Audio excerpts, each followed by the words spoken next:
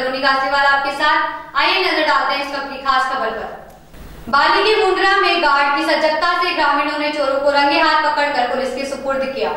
जानकारी के अनुसार गार्ड ने मकान के बाहर ताला टूटा देखकर कुंडी लगा दी और स्थानीय लोगों के साथ ही पुलिस को सूचना दे दी। जहाँ सूचना पाकर पहुँची पुलिस ने 18 वर्षीय युवक हाजीराम को गिरफ़्तार कर सागड़ी थाना लाया गया और मकान मालिक को सूचना दी गई। फ़िलहाल इन खबरों में इतना ही। आगे की अपडेट जानने के लिए देखते रहिए एमबीसी न्यूज़ 24 नमस्कार।